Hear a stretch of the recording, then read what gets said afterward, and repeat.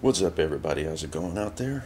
So, this is my computer in my uh, shop. And this is primarily my jukebox. This is my entertainment system during the time that I'm working. And I've got a problem. I have a problem. And um, let me bring this down so you can kind of see what's going on here. When I turn this guy on, you might experience the same thing. So I'm going to tell you how to go about doing it. Well, see, I just tried turning it on and nothing. Oh, here we go. You might end up with the same problem, okay?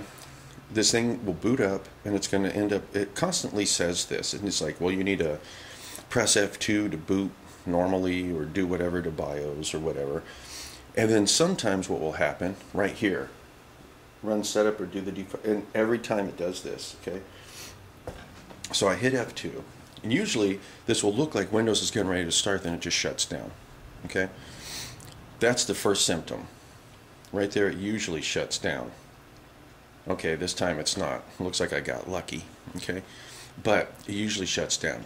The second thing that happens is if you go onto certain websites like uh, YouTube or something, sometimes the video will just stop playing um, or it'll say uh, something like the, the, certificate for this um, this this uh, web page has expired or is not valid, and you can't use it, right? So you're sitting there like, what the hell? What the hell's going on? Okay. And I'm going to explain what's going on because there's another dead there's another dead sign. This is the password, by the way. If you want to get into my shop computer. Head, hand, hips. That's Luna. FX Luna says, now you know my password. And that's FX again. But there's another dead sign of what is going on here. And that's down here at the bottom where the clock is. This is saying that it's 12:30 p.m. and it's saying that this it's the 12th, okay? Hmm, something's not right with that. Okay, and so this clock needs to be reset a lot. So if it's showing up on your, your screen where it's uh, like you go to websites and it keeps telling you the certificate is bad, the certificate is bad, blah, blah, blah, blah, check your internet time. Okay, check your internet time because if it's the wrong date, okay, you're not going to be able to view certain web pages down here. Okay, and also you might not even be able to get a Windows update. It might say that there's a problem with it, it can't install it. There's all sorts of problems, and it all has to do with this internet time, this, this time down here. If you have to keep resetting it, chances are it's not a software problem. Chances are it's the battery that is inside your computer that needs to be replaced because there's a watch battery inside there that basically maintains the clock and other things um, inside here. And this is one of the reasons why it keeps it keeps happening. So we're going to replace this battery. We're going to cruise down here. Let's go ahead and turn this off. Now about eight years ago this was a gaming computer and a recording computer. I was using this um, to uh, basically do my recording from my DAW software and stuff um, but time goes by um, there's upgrades and things, certain software wasn't working with it, etc. So now this is just an entertainment computer.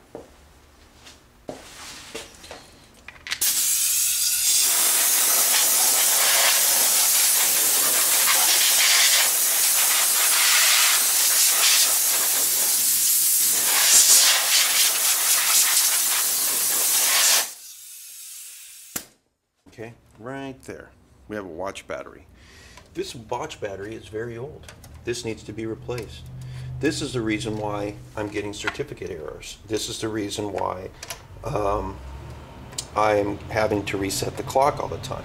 This is the reason why it keeps asking me every time I turn the computer on if, um, let me see, I can probably get this right here. Every time I turn it on, it's asking me, hey, uh, do you want this thing to you know, go to run setup or just load default values. It's because of this right here.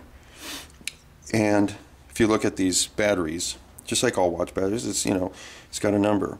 And this particular one says CR2032. So right here I have a CR2032 And this one came out of another computer that I have upstairs that I no longer um, use. It was also another gaming computer. Um, but this battery is probably still good. So pop that guy inside there and let's see if this ends up repairing the situation. Now I'll probably have to do one more you know F2 to do the run the setups and everything like that but then afterwards I shouldn't have this problem anymore my uh, this certificate thing is no longer valid should go away on YouTube um, as well as I shouldn't have to adjust the time see I didn't even have to hit the F2 right so that so far so good we'll do an internet time change just to make sure so time is good. That should fix everything. That should fix everything. But if you're having that certificate error, check your internet time. If you're having problems booting up, check that damn battery.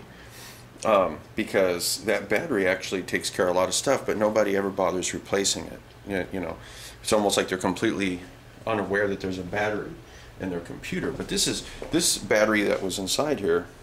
This is probably like from oh, geez, 2004, 2005 maybe. So I mean, it's a really old battery, um, and they go bad.